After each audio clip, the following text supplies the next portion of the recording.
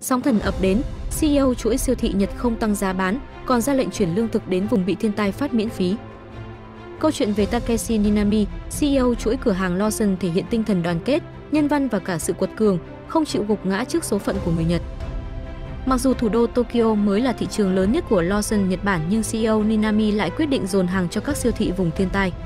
Vị lãnh đạo này hiểu rằng không có nhiều xe tải muốn đi vào vùng thiên tai chuyển hàng và việc tiếp tục mở cửa các siêu thị Lawson tại đây sẽ giúp tạo nên hy vọng cho người dân hơn. Trong suốt giai đoạn khó khăn nhất của đợt 2011, Lawson Nhật Bản đã đưa 200.000 suất ăn đến cho những người bị nạn.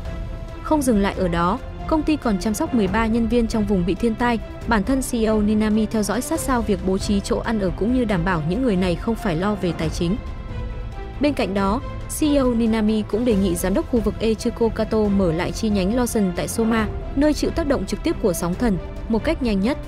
Bản thân nữ giám đốc Echiko Kato cũng mất nhà cửa trong trận sóng thần và đang phải sống trong trại cứu hộ, mẹ chồng thì bị còn 2 phần 4 cửa hàng Lawson của cô bị thổi bay.